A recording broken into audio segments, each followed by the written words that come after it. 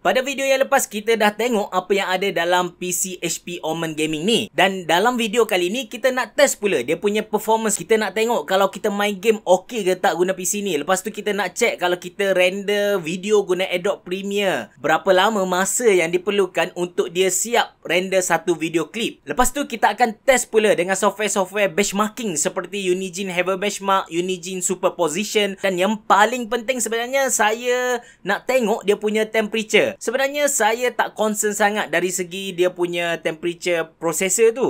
Yang saya concern ialah dia punya graphic card punya temperature. Disebabkan bayangkan RX 580 guna single fan punya graphic card. Tanpa berlengah lagi, jom kita check result-result yang saya dapat lepas saya test guna game Dota 2, GTA 5, Far Cry, dah banyak lagi. Lepas tu kita guna software benchmarking. Lepas tu macam saya cerita tadi, Adobe Premiere kalau kita render satu video clip berapa lama masa yang diperlukan. Dan yang paling penting, pasal temperature tu. Jom.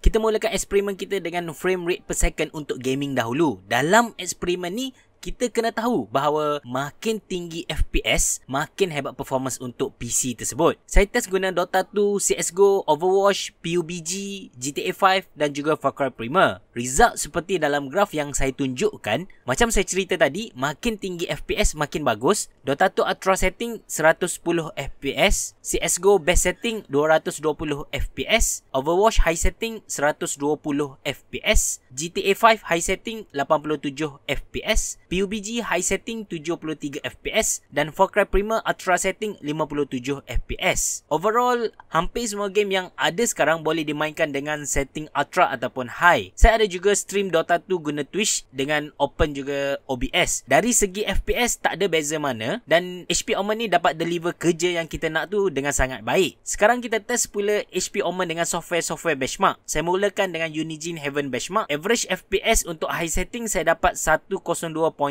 dan skor 2577. Kemudian test pula dengan Unigine Superposition. Software terbaru daripada Unigine. Software ni dia guna grafik card yang lagi hebat daripada Heaven Benchmark. Dengan high setting, average FPS yang saya dapat ialah 39.3 dan skor 5255. Dua result ni antara result benchmark yang terbaik sepanjang saya buat benchmarking selepas Zotac GTX 1080 Ti mini. Dengan sini bench, kita test grafik card OpenGL kita dapat 77.90 FPS. Manakala untuk prosesor ataupun CPU pula, HP Omen ini dapat 1433. Kalau kita compare dengan i7 7700, sebelum ini i7 7700 dapat 806 CB. Jadi PC Omen yang guna Ryzen 7 1800X ini dari segi processing memang jauh lagi bagus daripada i7 7700. Soalan seterusnya, adakah PC ini sesuai untuk buat rendering? Okey, saya render video yang saya publish pada minggu lepas iaitu video bedah siasat PC Omen RM5999. Anda boleh klik notification yang keluar di atas untuk tengok video tersebut. Saya buat perbandingan dengan PC yang saya guna iaitu prosesor i7 7700, RAM 16GB, SSD 240GB, hard disk 1TB dan grafik card RX 5604GB. Masa untuk siap render video Full HD berdurasi 7 minit 35 saat ini ialah sekitar 7 minit. Manakala PC Omen ini pula perlukan hanya 6 minit saja. Secara kasarnya kita boleh nampak perbezaan sebanyak 1 minit. Mungkin ramai yang tak tahu, untuk Adobe Premiere sebenarnya yang memainkan peranan besar ialah prosesor bukan graphic card. Jadi tak pelik jika rendering performance PC HP Omen ini lebih baik daripada PC i7 yang saya guna. Last kali kita nak check sama ada HP Omen ini mempunyai sistem penyujukan ataupun cooling system yang bagus ataupun tidak. Kita akan check untuk prosesor dan juga graphic card kedua-dua. Untuk prosesor kita akan stress guna Prime 95. Saya stress selama 1 jam, semua core load 100%. Suhu awal ataupun idle ialah 36 darjah Celsius dan suhu selepas 1 jam saya run Prime 95 ialah 63 darjah Celsius. Nampaknya sistem penyejukan ataupun cooling system prosesor untuk PC Omen ni sangat baik. Sekarang kita stress test grafik card pula. Macam saya cerita pada video yang lepas, saya sangat khawatir, saya sangat concern dengan cooling system untuk grafik card PC Omen ni. HP Omen menggunakan grafik card RX 5804GB single fan dan seriously saya rasa pemilihan single fan tu ialah pemilihan yang kurang bijak. So kita akan guna software firmware stress selama 1 jam.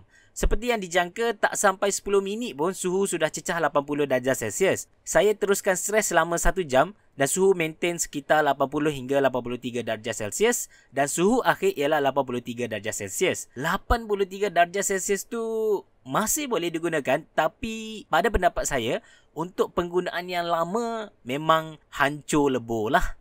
Seperti yang saya jangka, temperature untuk grafik card tu tak berapa memuaskan. Seriously menghampakan. So, RX 580 memang tak sesuai untuk kita pakai single fan. Dia punya temperature tu memang...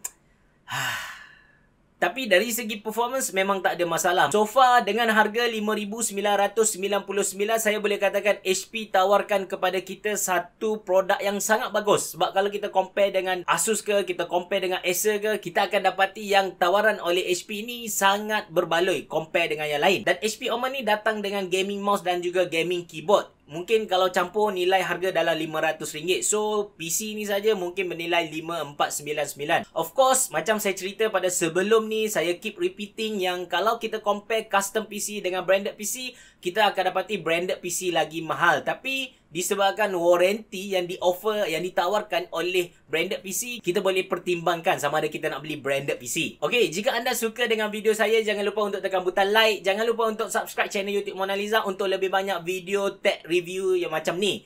So, bereboh. Jumpa lagi.